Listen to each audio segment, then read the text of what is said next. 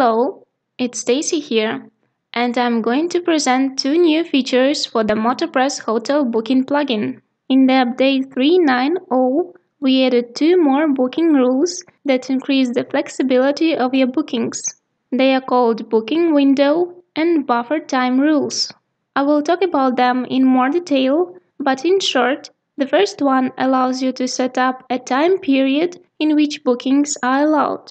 For example, minimum two months and maximum one year in advance. And buffer time rules will help you automatically block out a number of days to allow for some extra time between each booking. For example, to prepare a room for the next guest.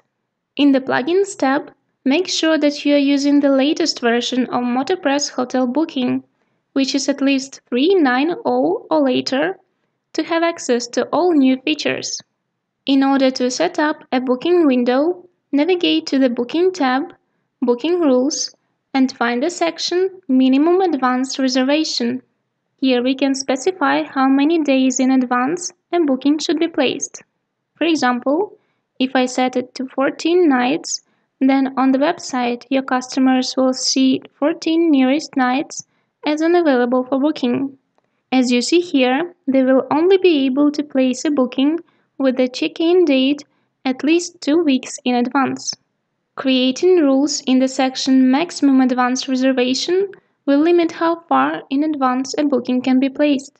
For example, we can allow booking only maximum one year in advance by setting a rule for 365 nights. Here is how it looks on the website.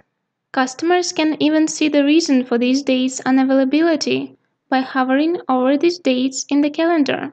As the time goes on, the unavailable dates are updated automatically so that your booking window remains true on any given date. As with all other booking rules, booking window rules can be applied to only one or all properties and booking seasons. In case you need some extra time to prepare a room for a new guest, you can set up rules in the buffer section. For example, I set a rule to one night and it means that an extra night will be automatically blocked off before and after each booking. I have a booking from the 20th of January to the 22nd. But with this rule, customers will see that the night before and after cannot be selected for booking either. If you go to the admin calendar in the Bookings tab, Calendar, you will see that the booking is for two nights and additional two nights are blocked off.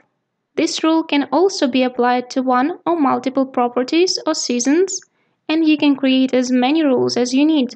Let us know in the comment section what you think about this update or if you have any questions.